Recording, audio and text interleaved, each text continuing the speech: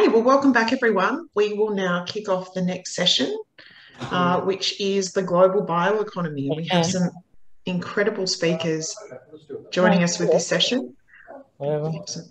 James, do you want to pop yours on mute?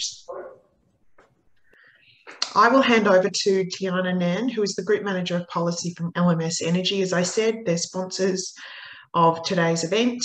Uh, we're delighted to have their support and, and they really are strong contributors as are EDL and, and other organisations supporting today's event across the work that we're doing at Bioenergy Australia. So I will hand over now.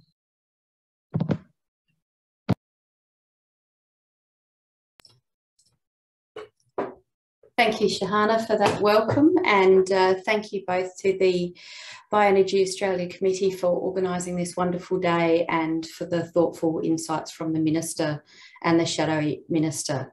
I'm delighted to introduce uh, this session. Uh, we are proud to support this important event looking into the future of bioenergy. So LMS Energy is Australia's leading bioenergy from waste company, seeking to organically power a circular economy. Through this session, I'm going to talk about LMS Energy and introduce some of the global imperative very briefly, and then introduce the eminent speakers that we have from North America, Singapore, and New Zealand for this session. LMS has 40 years of unrivaled industry experience. It is a third generation company that's found, been founded with innovative ideas that continue through to today. Emmanuel Falzon was the first to work out how to capture landfill biogas to actually help reduce fuel costs at his brick kilns, and then realised that there was a deep opportunity here and moved into growing that business.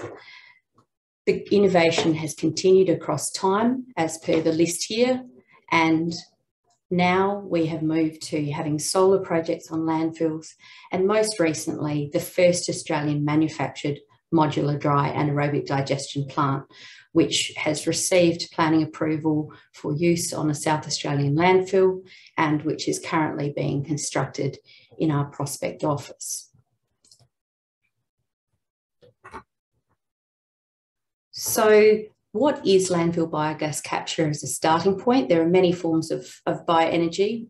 Very briefly, what we do is offer a full service that we design and install the gas systems at landfills where we capture the gas and then we either flare that gas or use it to power uh, the generation of electricity and obviously this can also move to biomethane and biofuels we manage all of the distribution. We sell the carbon and electricity products for our clients, offering a one stop shop. Our history has been based in landfill, but we are a bioenergy recovery specialist focused on organic waste. These organic waste may come from landfill or they may have been collected for separate recovery through anaerobic digestion. Through this innovative approach to maximising gas capture from the breakdown of organic waste, we have grown to have 59 sites across Australia, as well as a range of sites across New Zealand and uh, as of last year, the US as well. In Australia, we have grown to have an 81 megawatt capacity, generating around 600 gigawatt hours per year. We have uh, estimated 180 petajoules of bioenergy reserves to 2040. And coming back to that innovation theme, we have in-house Australian manufacturing. We do our design, our construction, manufacturing here in Australia, meaning that we have that opportunity to keep innovating as our circumstances change. And this successful approach has seen LMS grow to have 190 dedicated employees. It's also seen Sims Energy, one of the world's great recyclers, and recently voted the 11th most sustainable corporation in the world, that uh, amongst the top 100 most sustainable corporations to invest a 50% stake in LMS Energy back from 2001. So what does our work across the country achieve? At the moment, the waste sector is responsible for about one third of all the Australian carbon abatement that is occurring. It is a major contributor. From that, landfill biogas capture is responsible for over 90% of these emission reductions. And LMS is responsible for over half of those reductions from landfill. What this means is we are making a real difference to the carbon emissions coming from Australia. We save over 45 million tonnes of carbon from being emitted into the atmosphere, and that's grown to around four and a half million tonnes being saved every year. we want to keep contributing to a sustainable future for us all. And it's our vision to be the world's leading bioenergy company, organically powering the circular economy. We have the focus on landfill biogas and also biogas from anaerobic digestion to make sure that we are capturing the heat, energy, and nutrient values of our organic waste to help power a circular economy where we keep materials circulating at their highest utility and avoid pollution and waste. We're very proud to have recently entered a strategic partnership with Helmont Energy, and Mark Jonker is speaking later today uh, to help ensure that we're reaching into not just our household waste, but also agricultural waste and commercial waste also. So what does LMS offer the energy and waste sectors? The material that we provide, the electricity we provide is renewable and reliable. It's dispatchable and flexible. It can help support our transition to a wholly renewable system, aiding system security, providing frequency and mm. inertia.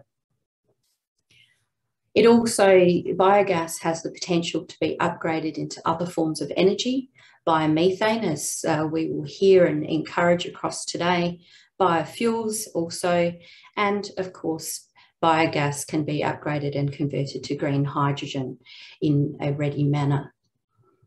It doesn't just help with electricity, it helps ensure that we are achieving the best organic waste management possible and supporting our soil health and the carbon reduction opportunities offered through compost and renewable fertilisers coming from anaerobic digestion also. Now, we're very proud to be contributing our part, and the bioenergy sector supports the development of the United nation's sustainable development goals, particularly around affordable and clean energy, of course, but creating decent work, economic growth, a clear contributor supporting climate action and supporting more responsible consumption and reduction through managing waste better. This ability to drive multiple benefits means that we also work across multiple policy areas, energy, waste and carbon. Bioenergy offers the opportunity for renewable low carbon future and it can also help with our waste needs. Our global speakers will further discuss the energy and carbon opportunities and work in these areas. I'd like to just very briefly highlight how it can help with our waste issue as well. So one of the things to be aware of is the world generates 2.01 billion tonnes of municipal solid waste, so household waste annually. And this is expected to grow to 3.4 billion tonnes, more than double the population growth across the same period by 2050. Around half of uh, municipal solid waste is typically comprised of food and organic garden organics, and this is rather higher in developing nations. We have a massive opportunity to make better use of the embodied energy, heat, and nutrients captured within this material and move from a linear process to a circular process. I would now like to introduce our eminent speakers for the, the upcoming Global Bioeconomy session. Very much looking forward to them. I'll give a rundown of each of them briefly. I also encourage their fuller biographies uh, on the uh, information for this session, of course, and then we'll turn to Paul. So Paul Bennett is the chair of the International Energy Agency Bioenergy Executive Committee. He's been an active member of that committee since 2014 and was elected chair in 2021 for a two-year period. He helps to raise awareness on the latest international developments on new conversion technologies, bioenergy deployment, policy development, and key sustainability issues. He's also a board member of Bioenergy Association New Zealand and the National Energy Research Institute of New Zealand. Working in many roles at BP over many years, in 2005, he was part of a small team that established the BP Biofuels Business Unit and has been working on bioenergy and biofuels ever since. In 2009, he left BP and worked in various bioenergy roles from business development through government strategy. Since 2014, he has been the science leader of the Clean Technology Group at Scion. Key activities there have included the development of New Zealand Biofuels Roadmap and the Royal Society's Climate Change Mitigation Options for New Zealand report. He'll be followed by Chris Tindal, who's the Assistant Director for Commercial Aviation Alternative Fuels Initiative. Chris is the Assistant Director of that initiative, whose goal is to promote the development and commercialisation of sustainable aviation fuel options, while also offering environmental improvement and security of energy supply. Chris Tindal was appointed Queensland Strategic Biofutures Advisor in 2018. He provides a direct connection between the Queensland Government and key industry stakeholders, both globally and domestically, with a focus on North America. He's also an adjunct professor on the faculty of the Queensland University of Technology, where he assists in exploring biofuel and biorefinery opportunities. Chris had a long Navy career uh, ahead of this, including successfully leading the Great Green Fleet effort, in which the US Navy acquired a new 77 million gallons of F 76 alternative fuel blend for their ships for deployment in 2016. He has had the honour to be named in the peer selected competition for the top 100 people in the Bioeconomy Awards by the Biofuels Digest from 2013 through 2017. We'll then hear from Steve Bartholomeusz, Head of Public Affairs at APAC Neste. Steve is the Head of Public Affairs and leads all public policy and advocacy efforts in the company's engagement with governments, public sector organisations, think tanks and other key stakeholders. He leads all public affairs efforts for Neste's renewable road transport, renewable aviation, renewable polymers and chemical business in APAC and supports the feedstock growth and supply teams. Stephen is an experienced public affairs professional with over 20 years international, regional and local experience managing issues, engaging stakeholders and delivering communications and public affairs strategy. Finally, we'll have Johannes Escudero, uh, who is the founder and chief executive officer of the Coalition for Renewable Natural Gas. Uh, the coalition represents and provides public policy advocacy and education for the renewable natural gas industry.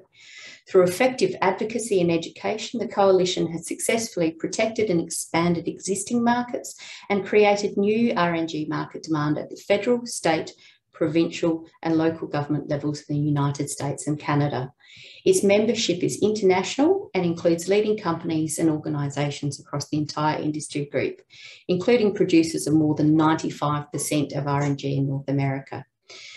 Johannes is a passionate advocate and entrepreneur with more than 20 years of organisational leadership and business development experience. And prior to founding the coalition, he served as a legislative director in California's State Assembly, serving ranking legislative members on a range of committees. I'm very pleased to introduce this eminent lineup and I will now stop sharing my screen and hand over to Paul.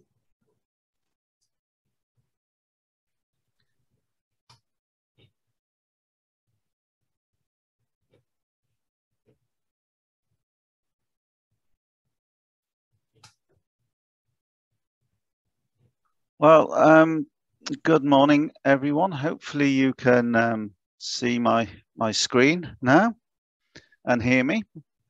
Um, thanks to Tiana, there's no need for me to introduce myself. Um, I think she did a very good job of, of uh, of telling you what I'm all about. Um, I'd like to take this opportunity to thank Shahana and Bioenergy Australia for the kind invitation to speak at this uh, uh, virtual conference.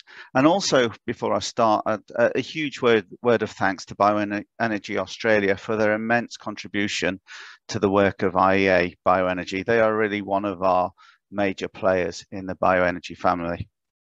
I want to take the next 10 minutes just to give you a bit of an overview of how bioenergy can contribute to achieving net zero emissions uh, by 2050 in the energy sector at a global scale. And then I'll cover a little bit about the role of IEA bioenergy and what we're trying to achieve and what we're doing. So the next few slides will be taken out of the IEA report, Net Zero by 2050 Roadmap. This, this was published last year, and it was um, a piece of work that looked to assess the best options for meeting net zero emissions in the energy sector. The report paints a very good picture of what this future transition transition could look like um, towards stable and affordable energy supplies for all. Um, this, is, this analysis was uh, global in its outlook and recognizing that the circumstances will be very different in every country around the globe. There, but however, there are still some common themes um, and some specific points that will be pertinent to Australia or to New Zealand or Europe or the US or, or, or any other country for that matter. this is the crux of their, their, their, analysis. This shows the evolution of total energy supply um, from 2000 through 2020 out to 2050 um, across the world.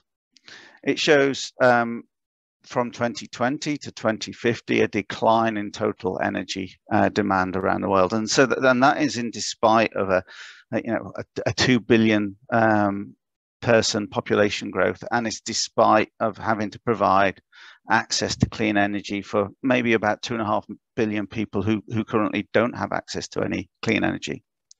So yeah, a, a reduction in total energy demand, large, largely driven by um, energy efficiency gains. But what we do see is a, a large decline in fossil fuels. Um, and that is taken up by renewable energy options um, um, largely.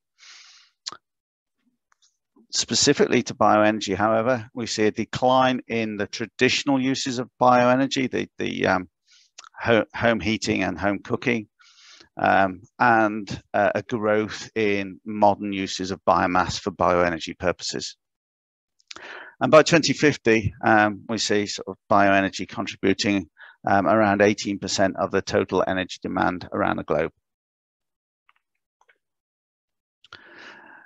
The analysis also looked at um, where we're going to get this biomass from.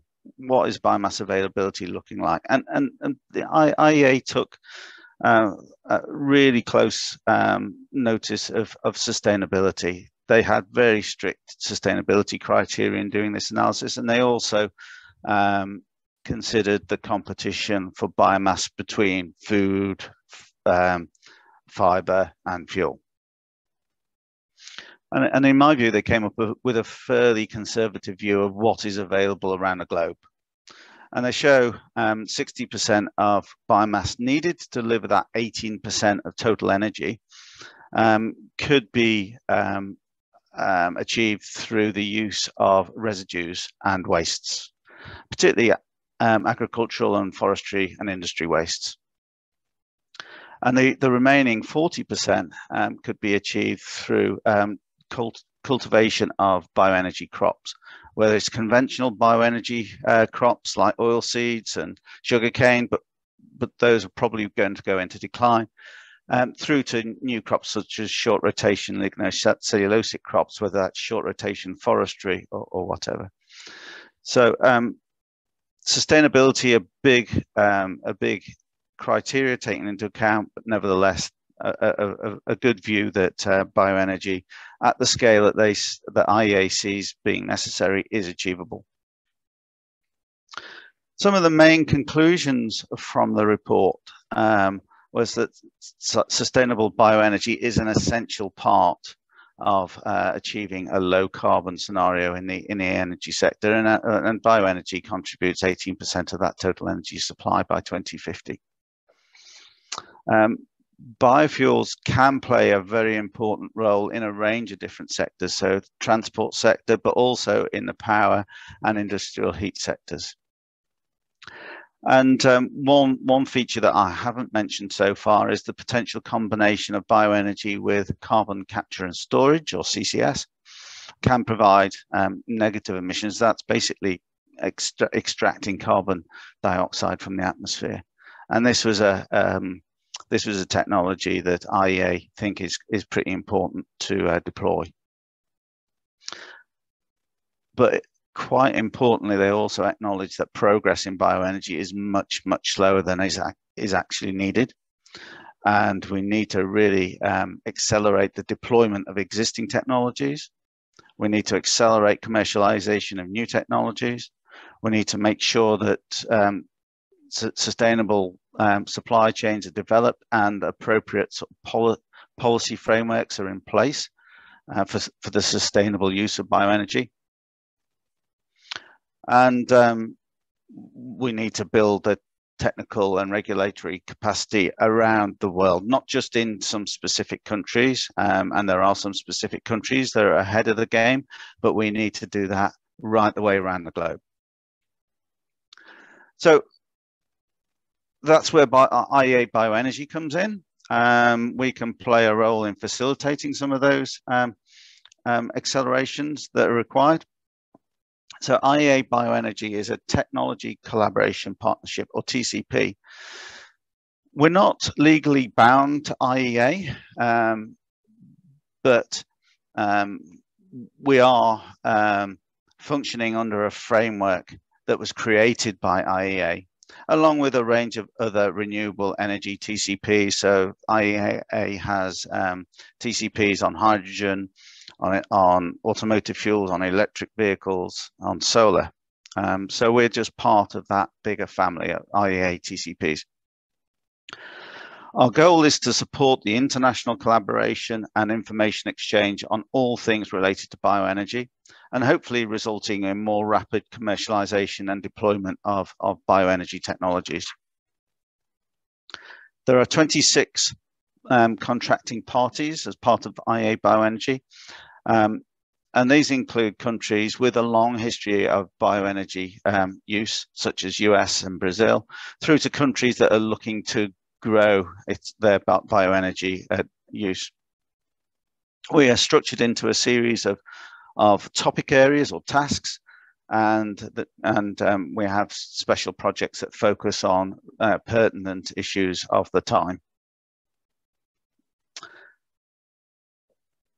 This, as I said, we're structured around uh, specific topic areas or tasks. Um, these topic areas, tasks uh, arrange right the way along along the supply chain, um, going from resources, um, biomass supply, through to conversion technologies such as liquefaction or gasification or anaerobic digestion, um, through to um, the de development, excuse me, of energy and product markets and what policies are required to accelerate um, those markets.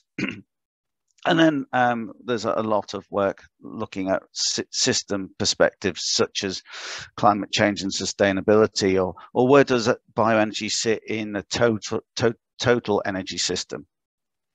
We also run, as I said, sort of special uh, uh, projects or strategic projects, and they're decided upon by the executive committee and task leaders, and are based upon what are the you know really burning issues, forgive the pun, burning issues of the time. Um, and as a, a technology a collaboration partnership, we're able to draw upon hundreds of the world's leading experts to um, um, to, to, to, to uh, conduct that work. So we think um, bioenergy has a unique role. It is available now and is ready for deployment. It's vers versatile um, and it can be deployed into a range of different sectors, heat, power, transport fuels. It is storable and so it complements the intermittent renewables such as solar and, and um, wind in, in the power system. And as I said previously, it can remove CO2 from the atmosphere when it's coupled with um, carbon capture and storage. Um, but key key to it is it must be produced and used sustainably. Um, if it's not used sustainably, we're totally going to undermine uh, bioenergy and we will not see its deployment being accepted by the public. So every few years, every five years, IEA Bioenergy conducts um, a re review of um, of renewable um, energy and and particularly bioenergy um, use across our member countries. Um, not only does it look at the total amounts of bioenergy used, but, but, but we also report upon the policies that have been implemented to encourage bioenergy. And um, said there's a, a, report for every country that is um, part of the IEA Bioenergy TCP, but there's also um, a synthesis report covering all, all countries and comparing different activities. And as I said previously, direct comparison between countries is difficult due to a, a range of different resource availabilities. Um, but generally, we've seen you know a, a good growth in bioenergy um, from 20, uh, 2005 through to uh, now. But the, but the purpose of this sort of comparison is not really to name and shame countries, but to really to to uh, help those countries that do um, want to um, deploy or more rapidly deploy bioenergy, help them to identify where countries have um, accelerated bioenergy bioenergy deployment and look at what policies they have implemented. So it really is a learning opportunity. And finally, what, what do we see? Uh, what does IEA bio, uh, bioenergy see as the role of uh, role for bioenergy? And I think it's entirely consistent with where AEA, uh, IEA were coming from when they looked at the entire um, renewable energy options. Um, you know, we, we think it's really important um, in pathways uh, to achieve global to ensure that we get to um, pathways that keep global warming below 1.5 or 2 degrees. There's no silver bullets here. Um, there are a, a, mix of op options. Um, we're going to see bioenergy uh, deployed alongside solar, alongside uh, hydro, alongside wind. Um, and, and I think, you know, we should be really targeting to those difficult to abate sectors. And, and I think um, um, Minister, Minister Taylor mentioned earlier, sort of SAF being one of those areas where bioenergy or bio, liquid biofuels is going to be critical. Marine um, biofuels are probably going to be important. The use of biomass for uh, high temperature heat provision is going to be important. I mentioned the, the potential role of uh, uh, or coupling bioenergy with carbon capture and storage. But it's clear there, is, there, there will be limits to biomass. There's going to be limits to land availability because of this food versus fuel versus fiber competition.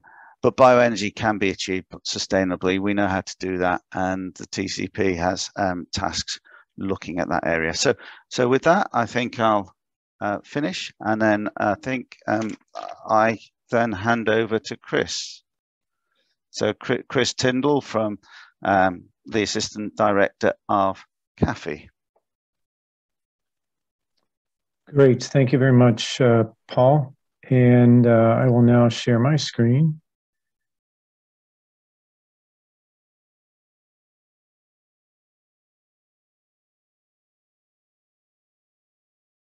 All right.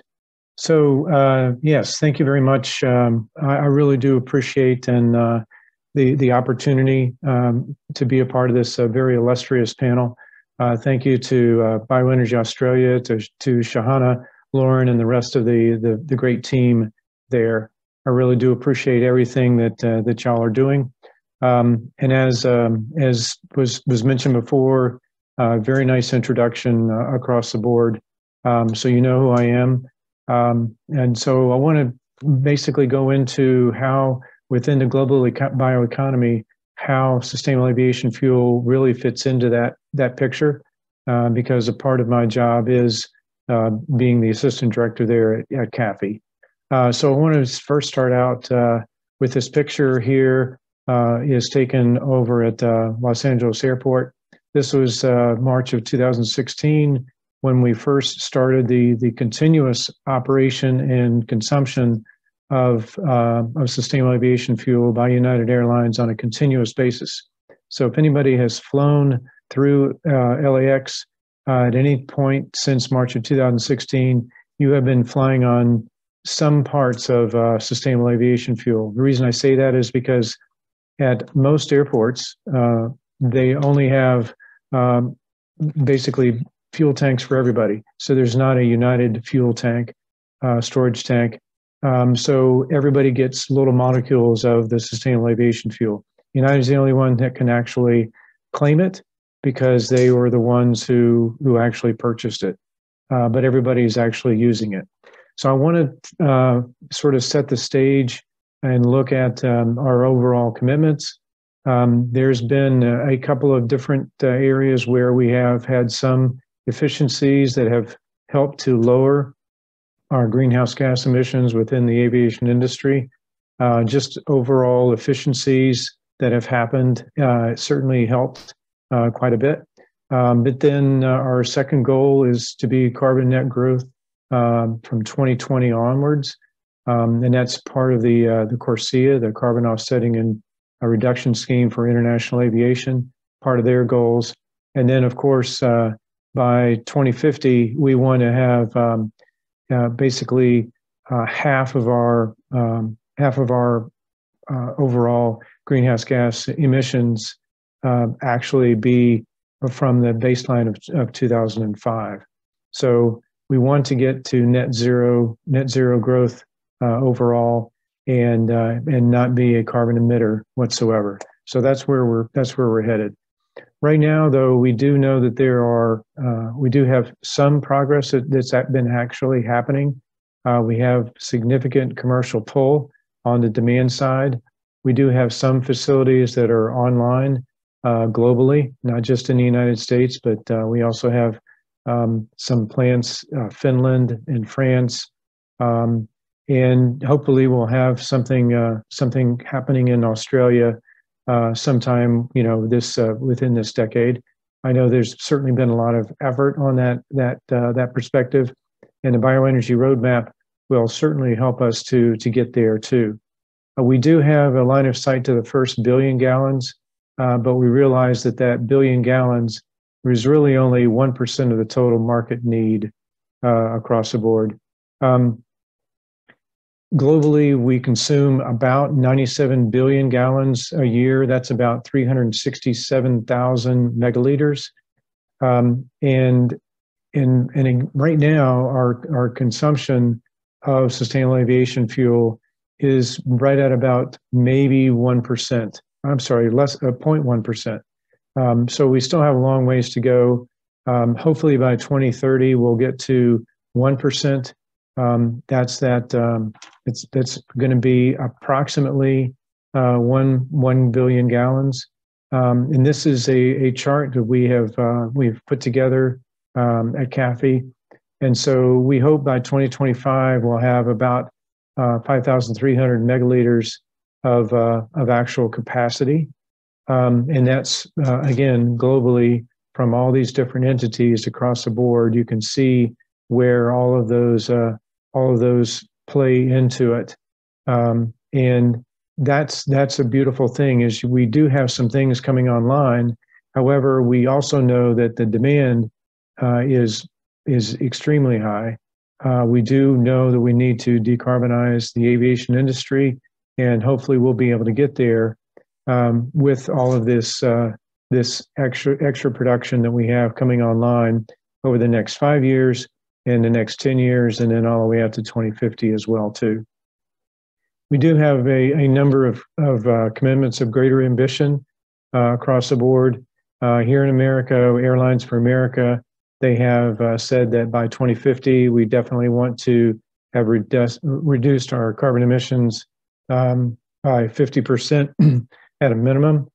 Um, FedEx, and then we even have a lot of different uh, governments around the world. Norway and the, the Netherlands have actually committed to um, a much lower um, carbon emissions by by having some mandates in place uh, for um, the military for the Netherlands, and then just overall they want to have a uh, make sure that we are doing something from 2020 onwards, and uh, we've we've actually Norway's been able to to achieve that, and again we have a long ways to go until we get to the um, to 2030 and then to 2050. Um, and then there, there's some situations where um, these uh, these commitments of, of greater ambition have even led to where the customers are willing to pay a little bit of extra um, in order for them to to sort of pay it forward. Uh, so they're paying an incremental price of the sustainable aviation fuel uh, across the board, and that's uh, that's very encouraging, knowing that the flying public is aware of that and they're willing to pay a little bit extra for that as well too. That certainly helps until we get to the point where we have um, uh, the sustainable aviation fuel coming in at parity uh, with uh, fossil-based jet fuel. So what's actually happening out in Australia? Well, we do know that uh, that there are some some movements afoot. Uh, Qantas, as was, was mentioned earlier, uh, has been been able to do a flight from uh, LAX to Melbourne um, on the on this, and and that was based in January of 2018. Ajivo also did some um, some uh, demonstration flights out of Brisbane Airport. Um, they were using uh, the fuel that was um, that was brought over from the from the United States.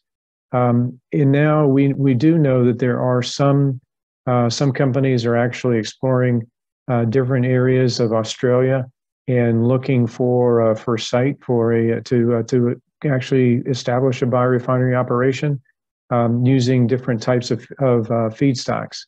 And I'll get into the, the feedstocks here in a minute. But the important thing to to realize is there are some some some good activities that are actually happening within Australia uh, that will hopefully help um, help us get to uh, to our goals that's uh, that's being uh, wants to be reached by the by the overall roadmap, bioenergy roadmap.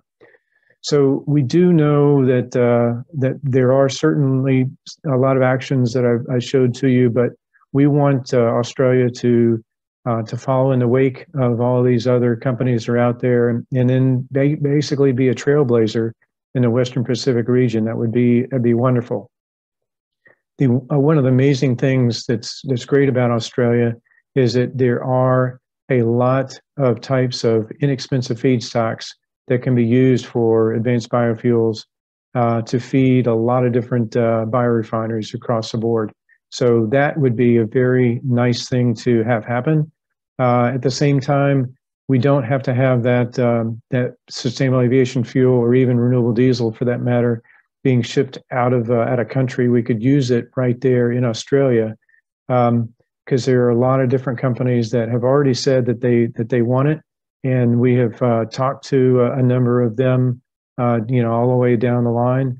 And so there are uh, there are these that are you know the the major airlines, Australia Post, the U.S. Navy certainly has uh, has has inquired about that in the past too. And then uh, there are all the many many ports that we have that have a large maritime demand for renewable diesel. But uh, bottom line, though, is that the roadmap will help to stimulate multiple initiatives and attract some good technology providers to help fill that gap uh, between the feedstocks and the overall end users.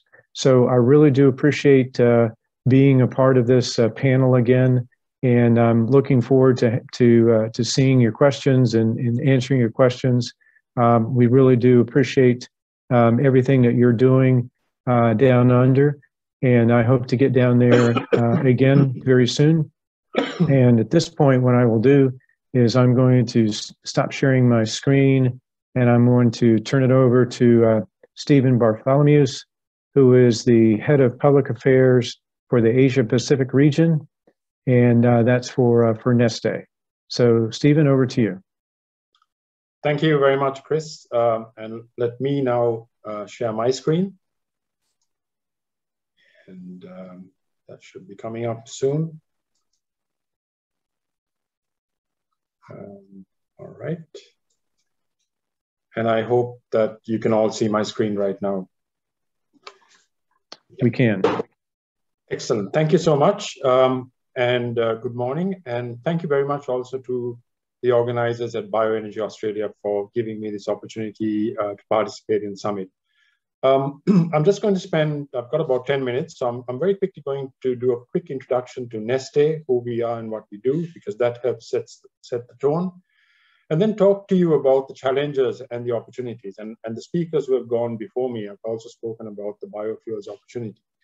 And, and I want to close with how smart regulation can actually help move this opportunity forward. So as a little bit of background to Neste, um, Neste's purpose is to create a healthier environment for our children. And it shows in our transition from 1948, when we were set up to secure Finland's oil supply, to today, where we have moved on to become the world's number one producer of renewable diesel and sustainable aviation fuel from waste and residue. And these efforts have been uh, continuously recognized by international organizations like Corporate Knights, where we've uh, been part of the 100 most sustainable corporations for uh, 16 years.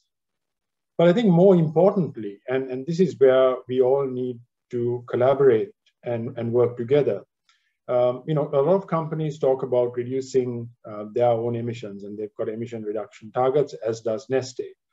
But I think more importantly, what can we do collectively to help our customers reduce their emissions? And in 2020, Neste helped our customers reduce their greenhouse gas emissions by 10 million tons, which is a significant amount. And just yesterday, we announced that in 2021, we had helped our customers reduce their emissions by 10.9 million tons. And we have an overall target of by 2030 helping our customers to reduce their emissions by uh, 20 million tons. Now, currently our renewable products capacity is, is at about 3.2 million tons per annum, but this is set to grow to 4.5 million tons per annum in 2023. So there is uh, an opportunity with biofuels very clearly for us as an organization. And we primarily focus on, on three areas which is renewable road transport, where our renewable diesel can help reduce emissions by about 90% compared to fossil diesel. Uh, in renewable aviation, where sustainable aviation fuel uh, is, is really taking off, if you like. And then finally, more recently, in renewable polymers and chemicals, uh, where we are working to tackle one of the biggest challenges we face globally, which is around plastics and plastic waste. And and all the products that we make and, and chris uh, alluded to you know um, waste and residue in his presentation. We use about 10 different waste and residue oil and fats and vegetable oils to make our products. And in 2020 waste and residue accounted for about 90 92% of all the renewable raw materials um, we we used now moving on to the challenge why biofuels and why a biofuels opportunity. In, in 2019, the global oil consumption was about 4,525 million tons of oil equivalent per annum. And out of this, the global oil demand for the transport industry was around 2,600 million tons of oil equivalent per annum. And in 2020, if you look at um, the electric vehicles, there were around 10 million electric vehicles, and they helped displace about 6 million tons of oil equivalent in 2020. The global renewable fuels consumption helped displace about 98 million tons of oil equivalent. Now, if you look into the future and where the opportunity lies, in 2040, if you look at um, the IEA's World Energy Outlook and also some modeling that Neste has done. You know, if you take into consideration that there'll be around 600 million electric vehicles, that would account for about 360 million tons of oil equivalent oil displacement. Depending on feedstock availability, and I have a slide that shows you that there will be uh, plenty of feedstock for renewable oil, renewable fuel production, we expect about 1,071 million tons of oil equivalent oil displacement by 2040. So what this means is that electric vehicles and renewable fuels, and don't forget there's other technologies being developed as well, can actually substitute more than 50% of crude oil in transportation. But the reality is that to make this happen, smart regulation is required.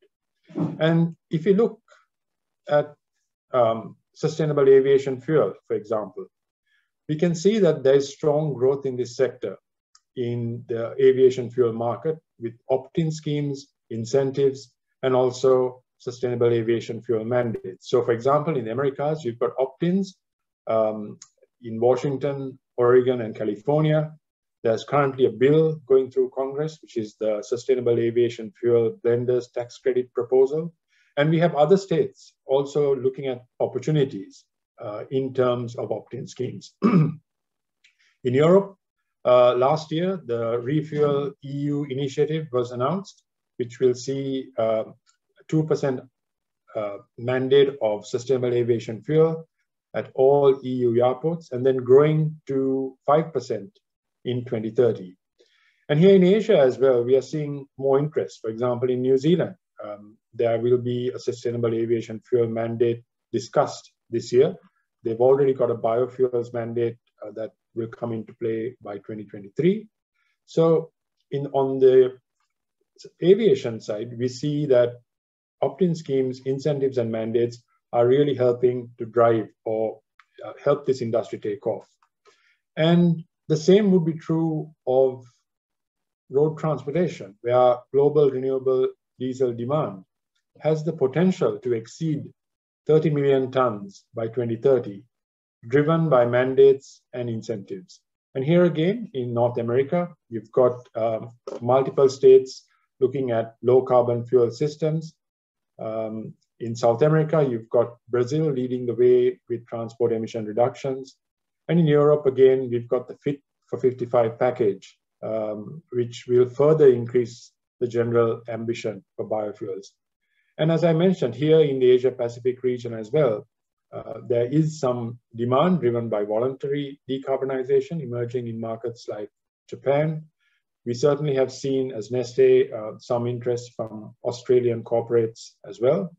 And in New Zealand, um, which has really taken the lead, if you like, in the Asia Pacific region, um, the proposed sustainable biofuels mandate uh, of 3.5% uh, which is a greenhouse gas emissions reduction mandate by 2025, which will then continue to grow up to 2035, uh, shows tremendous potential and opportunity for biofuels.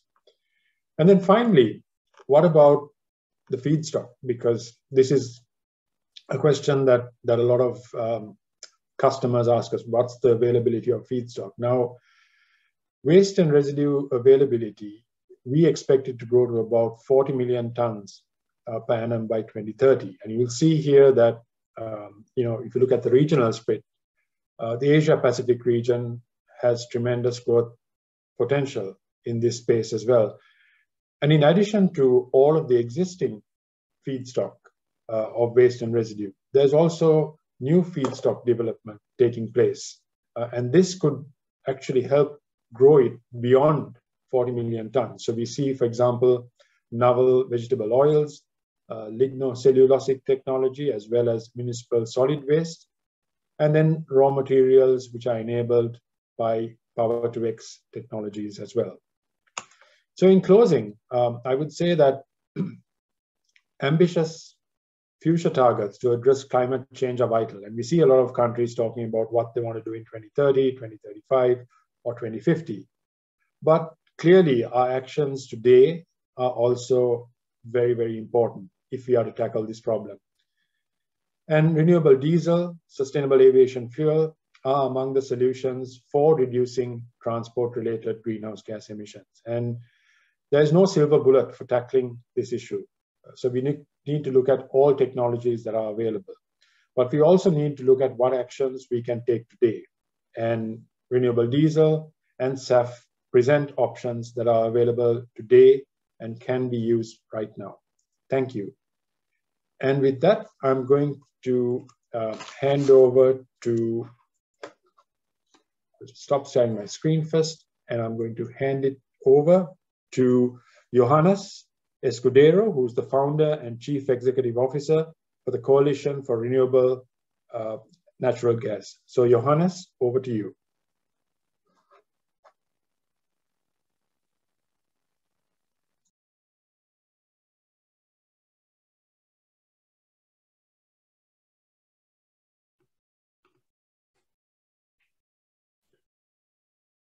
Wonderful.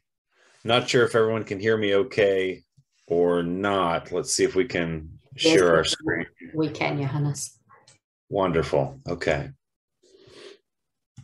I will share our screen here.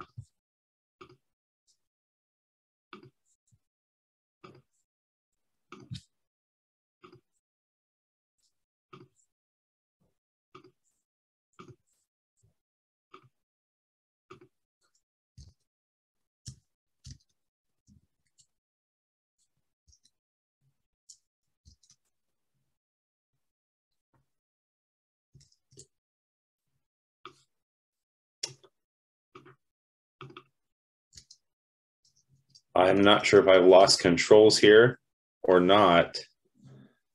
Um,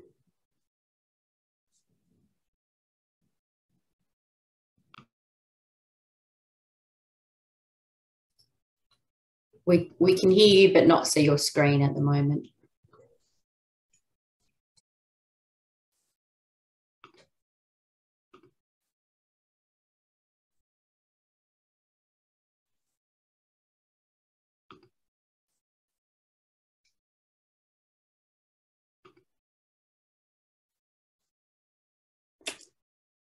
For some reason, I apologize. We are running into tef- technical difficulties here where it's not wanting me to share the screen. Um,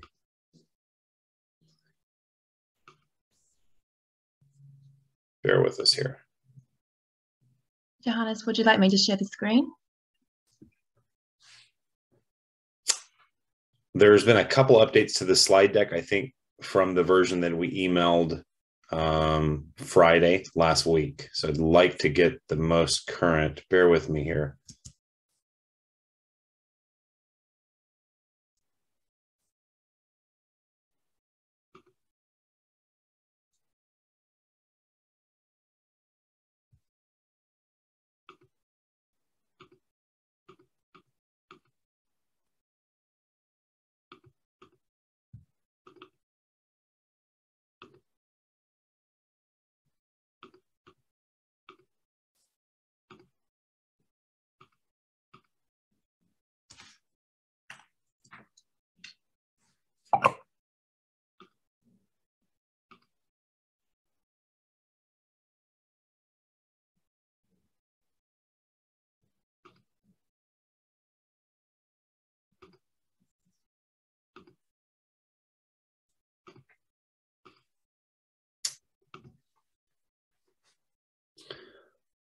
There we go. I think we're able to circumnavigate uh, the controls there. Can everyone see the presentation now? Yes, we can. You just need to make it uh, larger. We'll do it here. Bear with us here.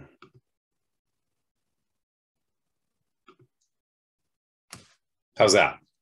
A bit anticlimactic, but uh, I will be diligent to move forward expeditiously here so as not to lose time in the program. Again, let me echo Shahana, Lauren, um, thank you for the invitation to present on um, this online summit today about renewable natural gas in North America, as has been respect, uh, requested.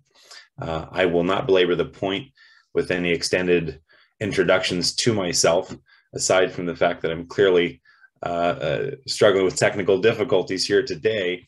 Um, I have the, the honor of leading the Coalition for Renewable Natural Gas, along with an incredible team, uh, 16 of us working full time to advance our organization's mission, uh, supported by uh, chairs elected by our membership who lead five different leadership advisory boards uh, and provide invaluable expertise, experience, and input that ultimately influence our effective advocacy at the federal, state, and provincial levels in the United States and Canada, as well as public education in terms of educating the general public and improving, increasing awareness about best practices, etc. Uh, the Coalition for Renewable Natural Gas, we represent 351 member companies. I say companies rather loosely because that does include uh, municipalities, so cities and counties, as well as colleges, universities, airports, ports. Um, and as was mentioned earlier, the entire value or supply chain across the renewable natural gas space from the waste collection, waste management, recycling companies, all the way through to the end users, including 90 uh, producers of 90% of all the renewable natural gas in North America.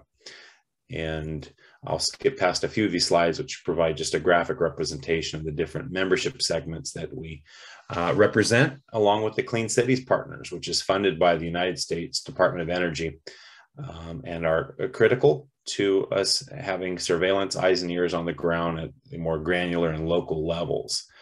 Uh, our mission is to advocate and educate for the sustainable development deployment and utilization of renewable natural gas or RNG as we refer to it so that ultimately not just present but future generations also will have access to domestic renewable clean fuel and energy. Uh, we founded the coalition on July 7th of 2011, so we just celebrated our 10 year anniversary this past summer. But consistent from the beginning, our position has always been that we support renewable natural gas and increasingly derivatives of RNG, including but not limited to renewable hydrogen, produced from all sustainable feedstocks. We represent and support all sustainable and competing technologies.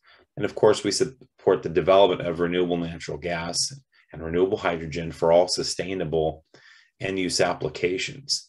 I think it's important before we sort of dive into um, the development landscape as was specifically requested in North America over the last 32 years, as long as the industry has been alive, and more specifically, the last almost 11 years now since we coalesced that space, is to share our philosophy. I think it, it could be informative, uh, particularly to those who have government ties at the federal or state levels in Australia. Uh, we certainly do not pretend to have uh, understanding acumen of the political process or to have the appropriate levels of access internationally. We do have an international membership. The public education component of what we do uh, certainly translates and travels around the globe. But with respect to the policy advocacy, uh, some of what I'm going to share is informed by and influences our efforts in North America proper. So you'll have to take that into consideration to the extent you're looking to uh, take any of this away as a derivative. But our philosophy has been that, look, at the end of the day, advocacy and education are what have proven to inform public policy most influentially. And those public policies have influenced the markets that our industry gained eligibility for, is participating in, some cases dominating, uh, and that we're working to protect and expand and diversify. Those markets drive demand, and demand determines value. And of course, that value impacts not only revenue, that revenue correlates with the sustainability uh, and the ability of our industry stakeholders, not just to survive, but to thrive. I'm also going to hasten past, uh, I think, what's a fundamental question has already been touched on by a few of my predecessors on the panel with respect to what renewable natural gas is uh, I think I'll pause just long enough to say that um, biogas and biomethane may be interchangeable terms internationally. Uh, we we have defined um, renewable natural gas as such, and that is reflected in our laws, in our uh, different codes and statutes uh, and, and, regulations. Uh, because there is a, a, distinct difference between biogas and biomethane or biogas and renewable natural gas in North America. For example, you can take biogas and you can combust it to generate renewable electricity, and you might use that electricity to power your facility on site. But in North America, you cannot put that biogas product into a vehicle or into a utility pipeline. In order to do that and, and to access those uh, exponential markets, you have to upgrade or further condition that biogas to uh, a near pure methane content, which we refer to as renewable natural gas. So um, I think it's abundantly clear where RNG comes from. So I'll just note that when we began, and in North America in 2011, almost 100% of all renewable natural gas was derived from landfills. And certainly landfills today represent the largest stationary uh, feedstock source. And to the extent and so long as our planet continues to be populated by human beings like yourself and myself and our families, and so long as our family and friends and our pets and livestock are sustained by organic materials, there's always going to be some organic waste. But increasingly, that waste is um, being detoured away from landfills and is being deposited elsewhere. And there's different political opinions as to what's best. And it's our fundamental belief that uh, putting um, organic material in a compost facility really forfeits the energy content that is latent within uh, that decomposing organic material. And thus, it's best served uh, to, to, um, to detour that organic material to a digester. Uh, which is sort of an above ground landfill, if you will. So again, 30 years ago, almost, and, and 11 years ago, almost RNG was derived from landfills. Today, RNG is, is produced from biogas captured not just at landfills in North America, but increasingly at wastewater treatment plants, at uh, other livestock agriculture operations, including but not limited to dairy farms. Um, so essentially, wherever organic waste can be found, it will decompose and inevitably it will produce methane. So our industry steps in and we mitigate those harmful methane emissions and uh, convert what is otherwise an environmental liability into an asset for society in the form of ultra low carbon uh, transportation fuel, heat, or power to fuel, heat, and power our vehicles, homes, and businesses.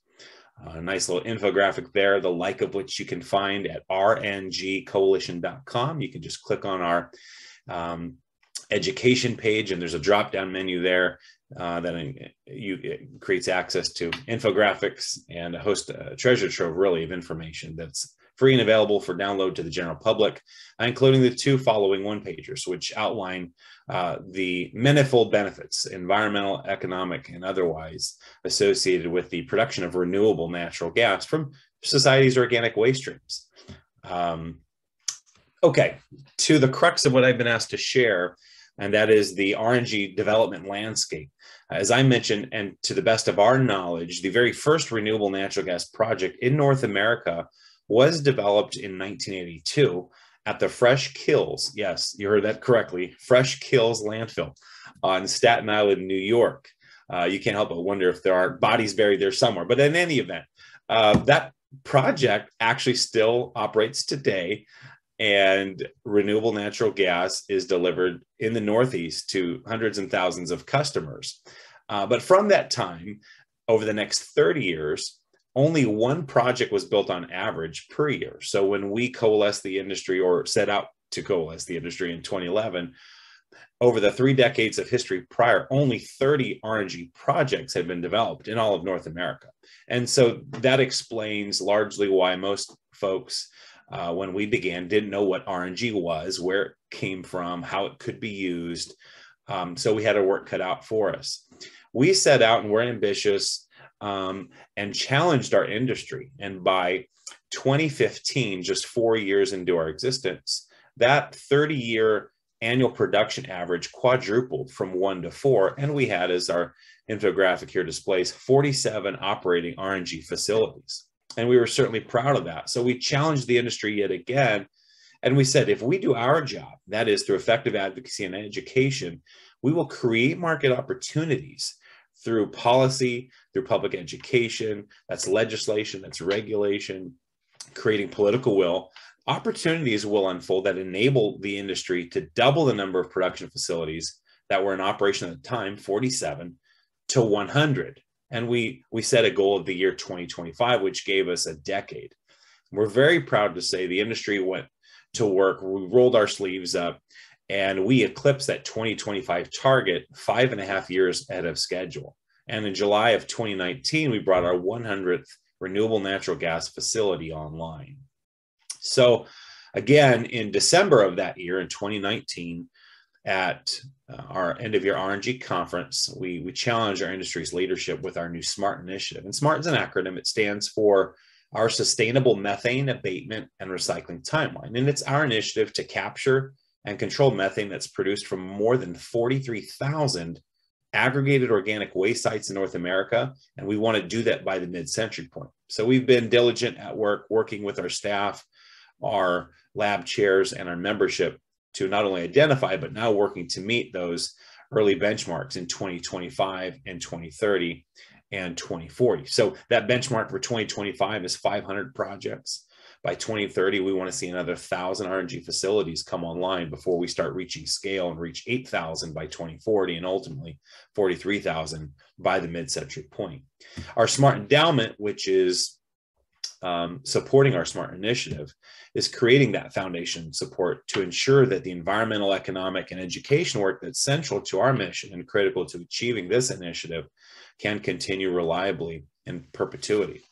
So I mentioned we we had 47 projects in 2015, just six and a half years ago. We eclipsed our 2025 objective five and a half years early in July of 2019 with our 100th facility. And where we stand today, we have now more than 245 operating renewable natural gas facilities just in the United States and Canada. And I have put here a pro- illustration of project RNG facility map rather that you can also access and download on our website. Again, that's rngcoalition.com. That gives you a breakdown of where, which states and what provinces each of those facilities are located in, whether or not those projects are, are uh, operating under construction, in development, whether they're pipeline injected, and what the intended use of the RNG is for that specific facility. Again, be that uh, transportation fuel, thermal heat, or power um, which begs the question of supply availability. In 2015, we produced as an industry 13 and a half billion cubic feet of renewable natural gas. Five years later, we produced 60 billion cubic feet. And in the next three years, we expect to produce more than 230 billion cubic feet. And that's based on our current and sustained 30% year over year growth rate there is sufficient RNG that could be developed from organic waste in North America, just in the United States today, that would be sufficient to replace more than 13% of the total current gas demand in the United States. There's enough RNG to supply and effectively decarbonize 100% of current commercial gas demand in the United States or 75% of the current residential demand or 45% of total industrial demand. So, not an insignificant amount of renewable natural gas that we're talking about and that we're targeting. And of course, as total renewables increase and as society's reliance and dependence on fossil fuels decreases, the percentages that RNG represents actually increases as a larger share of that renewable portfolio. I mentioned development benchmarks already for 2025, for 2030, and 2040. Um, and then I've also included more for the benefit of those as a takeaway who are interested in learning more about some of the policy options that we support and have adopted and implemented, incorporated in our advocacy and education strategies. Uh, and to the extent some of these may transfer, not just down under, but around the world as well. And would be happy to take questions and further discuss these and their applicability offline as a follow-up opportunity to continue our conversation. I've also highlighted some of the industry challenges that we faced course, a challenge is only a challenge if you're looking at the glass as half full. And of course, as ever, the optimist, we choose to view the glass uh, as half full. So, um, but we're also realistic and realize that with every challenge, there's an opportunity. So, uh, there are no shortage of engagement opportunities to help advance public policy, regardless of the country, continent, region, state, province, city, um, and and and that is true in North America as well. So I will pause there and leave you with my contact information. Thank you again for indulging the opportunity to spend a few minutes with you to connect with you. I look forward to continuing our conversation and making better use of society's organic waste as we undertake our mission together. Brilliant. Thank you so much. And uh, we really do appreciate you joining us today. I am certainly very envious of the policy environment that you're currently working in and hope that we will have a slightly more favourable environment into the future in Australia, which is certainly what we're hoping for. Now, as we've run out of time for Q&A in this particular session,